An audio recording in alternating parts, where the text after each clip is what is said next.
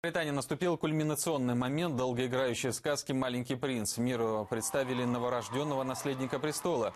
Младенец появился на публике на руках у уставших, но счастливых родителей. Из дверей больницы малыша, завернутого в белое одеяло, вынесла мама, а затем передала его отцу, который подошел к первенцам, с первенцем к журналистам. Ответив на несколько вопросов, Уильям и Кейт поспешили уехать домой, в Кенсингтонский дворец.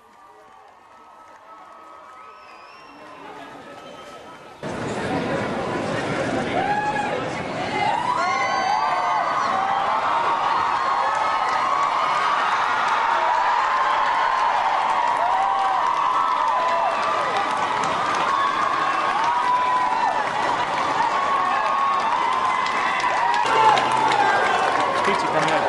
Yeah, Peter coming yeah. I'm going to do the first one. Right, you're cool with that, yeah?